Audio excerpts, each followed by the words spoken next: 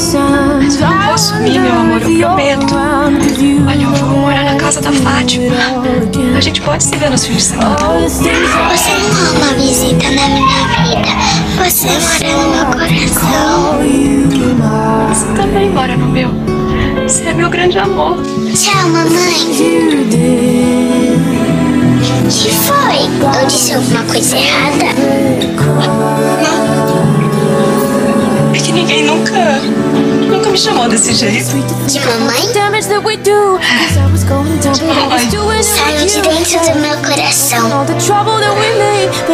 Foi uma das coisas mais lindas que você já me disse. É bom se acostumar. Porque é assim que eu quero te chamar pra sempre. Mamãe. Não vai ser esforço nenhum. Eu vou sorrir todas as vezes que você me chamar assim, tá? Minha filha. Gostei de ouvir isso também.